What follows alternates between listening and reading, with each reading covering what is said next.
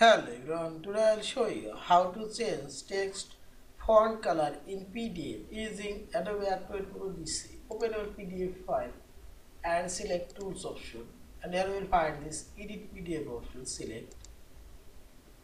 Now click on this text and drag your mouse, select your text, you want to change font color.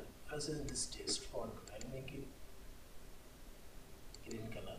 And see this font color already changed also change this text color. And make it this color. And see this text color already changed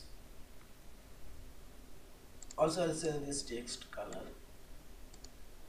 And make it red color. Also I'll increase this font size.